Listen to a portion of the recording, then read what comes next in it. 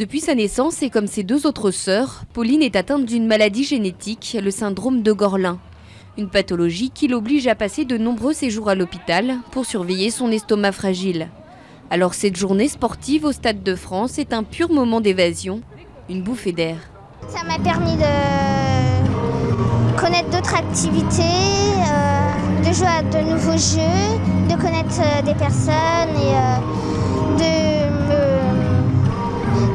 un peu euh, des jours euh, que je passais à l'hôpital euh, et tout. Ça leur met l'esprit ailleurs.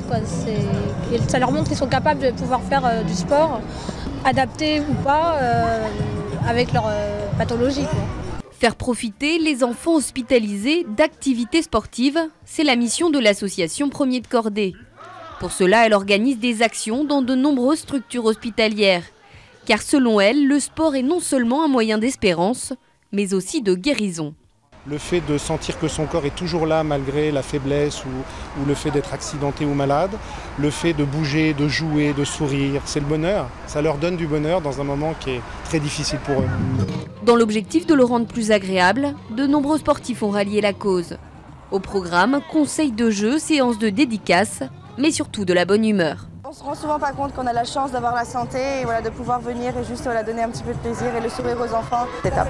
Top, voilà comment Pauline a jugé ce moment. Le temps d'un instant, elle a enfin pu s'amuser en toute insouciance.